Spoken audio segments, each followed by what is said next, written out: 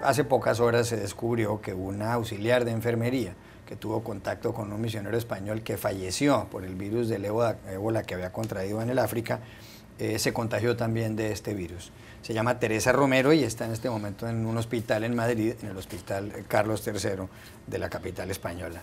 El marido de ella, Javier Limón, también está en observación. Y se ha pedido además la dimisión de Ana Mato, la ministra de Sanidad. Pero ayer lo que se convirtió en un fenómeno mundial, y era tendencia en las redes sociales, era una petición para que no fuera sacrificada la mascota de esta pareja, un perro llamado Excalibur.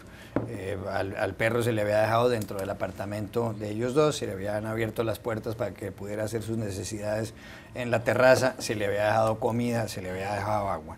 Esta mañana, en el Hospital Veterinario de la Universidad Complutense de Madrid, fue sacrificado Excalibur. Eh, 200 mil personas habían firmado una petición para que no, fuera, eh, no le fuera dada la muerte a este animal.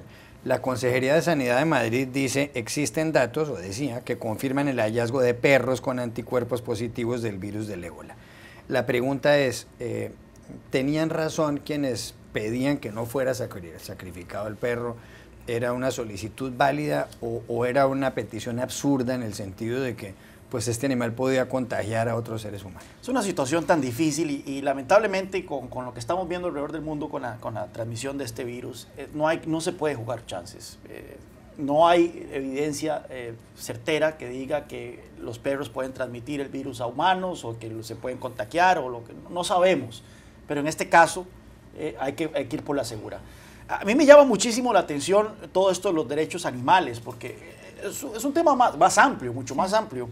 Este, nuestras sociedades han ido evolucionando en cuanto al trato que le damos a ciertos animales. Y para mí eso es positivo. Este, lo, interesante es que muchas veces ponemos por delante los intereses de los animales que incluso los, los, intereses de las personas. Para darte un ejemplo, este, allá por a mediados de la década pasada, un colega mío, Bradley Balco, empezó a documentar todas las veces que los equipos SWAT en Estados Unidos han tenido este, redadas equivocadas en casas y habían matado a gente inocente. Habían matado incluso a bebés. Eso que entran y disparan y, resulta que este, matan a una persona. Publicó un reporte documentando como 400 redadas equivocadas en todo Estados Unidos, aproximadamente dos docenas de personas eh, asesinadas por equipos SWAT y todo. Su reporte nunca, fue, nunca recibió ningún tipo de publicidad.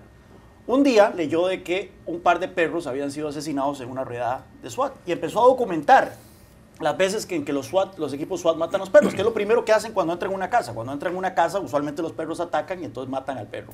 Y encontró muchos casos de perros y entonces hizo un adendum a su estudio. Bradley se volvió popular en Estados Unidos. Todo el mundo tenía que ver con el estudio de perros. Y esto es una, cuestión interesantísima porque estamos viendo una crisis tan tremenda en este momento en África. No sé si vieron las fotos que salieron en New York Times esta semana, esas escenas dantescas de, niños infectados con ébola tirados en los pisos de los hospitales. Más de 3.000 personas han muerto en la Más de 3.000 personas y de todo. Pero lo que causa consternación en este momento en Madrid es un perro. Este, no estoy diciendo que, no, que es malo tener esta empatía hacia los perros, pero definitivamente hay que tener ciertas prioridades, ¿verdad? En este caso no sabemos si el perro era un agente que podía esparcir el virus y creo yo que lo, prudente era actuar por la segura. Creo que no se está tomando, nos toma medio de sorpresa eh, y no por falta de aviso. Lo del ébola todavía en, Occidente no se sabe muy bien cómo reaccionar. Eh, vengo del Fondo Monetario. En el Fondo Monetario eh, hay una, un cartel de bienvenida que trata de tranquilizar a la gente con esta curiosa afirmación.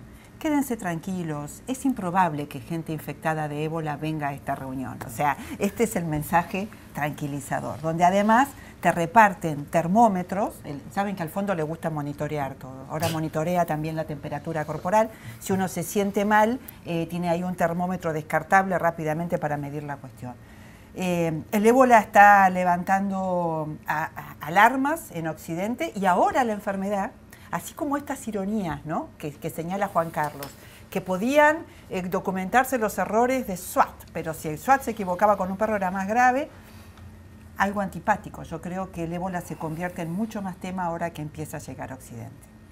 Yo creo que es, es, curioso porque el, Fondo Monetario solamente le ha faltado decir en mi país durante la crisis que no hay que gastar en termómetros, pero para, para ellos sí tienen, igual que tienen para no pagar impuestos y decir que los demás sí tienen que pagarlos y cómo deben pagarlos igual que si tienen para trabajos vitalicios, etcétera. Yo también vengo del Fondo Monetario Internacional. que están en reuniones de, de, otoño, la mayor parte de los ministros de Hacienda aquí a cuatro o cinco cuadras de aquí en el fondo. Sí. Eh, hombre, yo creo que mm, dentro de que ha habido suerte que Excalibur es un perro y no una ballena, porque si no nos morimos todos los españoles para, para, que no le pase nada.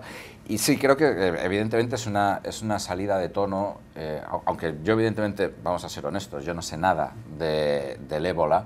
Eh, pero bueno, eh, recuerdo que cuando se trajo a España al, misionero, que, bueno, que ha provocado indirectamente la infección, aparentemente porque esta auxiliar de, enfermería se tocó la cara después de haberse quitado el traje eh, de aislamiento, hubo gente, mucha gente que dijo que no había que traerlo, que había que dejarlo en África.